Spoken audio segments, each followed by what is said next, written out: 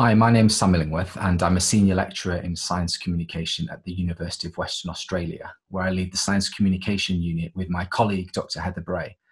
At UWA, we offer a master's level unit in citizen science, which looks at citizen science from an interdisciplinary perspective and examines key themes and issues such as participation, motivations and engagement, appropriate technologies, data quality and management, intellectual property, ethical issues, and policy implications. One of the key issues that we talk about is developing meaningful partnerships and connections between professional scientists and citizens. And in this video, I'd like to guide you through 10 principles of citizen science that all such projects should try to adhere to. These guidelines were developed by an international community of citizen science practitioners and researchers who set out their shared view of the characteristics that underpin high quality citizen science. Principle number one citizen science projects should actively involve citizens in scientific endeavour that generate new knowledge or understanding. Citizens may act as contributors, collaborators, or as project leaders and have a meaningful role in the project. In other words, citizens aren't just data collectors. They're not just there to be used as an analog computer. They are there as part of the process, and they're there to generate knowledge and understanding, to be granted agency, and to be actively involved. Principle number two citizen science projects should have a genuine science outcome. For example, answering a research question or informing conservation action, management decisions, or environmental policy. This might at first appear to be quite constrictive because it might be that a group, for example, in the educational sector, want to do something that's quite aspirational but doesn't necessarily have a scientific question at its core. However, in this instance, the intended outcome could be reframed as a measurable objective for example, increase participation in scientific activities amongst a specific audience. Principle number three both the professional scientists and the citizen scientists should benefit from taking part. Benefits could include the publication of research outputs, learning opportunities, personal enjoyment, social benefits, and satisfaction through contributing to scientific evidence, for example, to address local, national, and international issues. And through that, the potential to influence policy. So, one of the benefits might be that the people have fun in the process, but these benefits should be made clear from the beginning and should not be overstated. They should also be benefits that all the participants actually want rather than what the professional scientists might think that others need. Principle number four citizen scientists may, if they wish, participate in multiple stages of the scientific process. This may include developing the research question, designing the methods, gathering and analysing data, and communicating the results.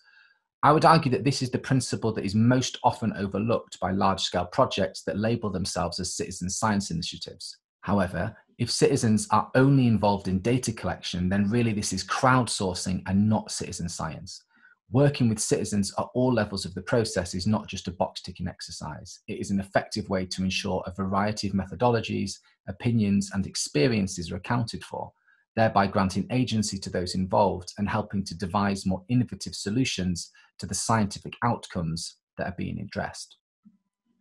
Principle number five citizen scientists should receive feedback from the project. For example, how their data are being used and what the research, policy, or societal outcomes are keeping citizens updated on the impact of their efforts is not only ethical, it is also likely to lead to stronger communities and encourage them to participate in the project over a much longer timescale. Principle number six citizen science should be considered a research approach like any other, with limitations and biases that should be considered and controlled for. However, unlike traditional research approaches, citizen science provides opportunity for greater public engagement and democratization of science. By openly admitting and discussing with citizens any issues with data validation and calibration, scientists can help to positively build trust between these two publics, which is beneficial for both the citizen science project in question and also science more generally. Principle number seven citizen science project data and metadata should be made publicly available, and where possible, results should be published in an open access format. Data sharing may occur during or after the project unless there are security or privacy concerns that prevent this. This means that certain confidential information, such as participants' email addresses, should not be shared, but where possible, any data from the project should be made freely and readily available so that others can use it. As well as being ethically sound, this also means that the data could potentially be used by others to advance scientific knowledge in new directions as well. Principle number eight Citizen scientists should be acknowledging project results and publications. Some citizen science projects have all of the citizen scientists listed as co authors in any journal articles that result from the initiative. However, this is not always possible because of the strict policies that some journals, incorrectly in my opinion, have in place. In such instances, the professional scientists that are involved in the project might either consider publishing in a journal that allows for the citizens to be listed as co authors, if only collectively advocate for the journal in question to change their policy or at least list the citizens in the acknowledgement section of the proposed article. Principle number nine citizen science programs should be evaluated for their scientific output, data quality, participant experience, and wider societal or policy impact. Communication and evaluation of projects could include scientific outputs, data quality, participating experience and learning, knowledge sharing, social benefits, capacity building, new ways of science engagement, enhanced stakeholder dialogue, and wider societal or policy impact. Basically, all citizen science projects should be evaluated and reflected upon, and where possible, the results should be used to benefit the wider society. And principle number 10 the leaders of citizen science projects should take into consideration legal and ethical issues surrounding copyright, intellectual property, data sharing agreements, confidentiality, attribution, and the environmental impact of any activities.